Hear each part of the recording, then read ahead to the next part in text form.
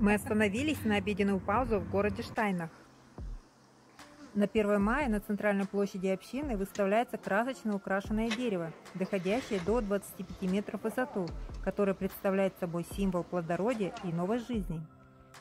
Среди разных городов и деревень происходят соревнования на самое лучшее украшенное и самое высокое дерево. Установка дерева происходит в праздничной атмосфере. С этой традицией связаны другие обычаи, например, народные танцы вокруг дерева, лазание по гладкому стволу дерева и очень интересная традиция – украсть майское дерево из соседней деревни или городка. Обычай, в котором идет поиск смельчаков, которые в почти обнаженном виде должны забраться по гладкому стволу до верхушки дерева с расположенным там венком. В венке обычно находятся мелкие подарки, круги с колбасой, конфеты и другие мелочи.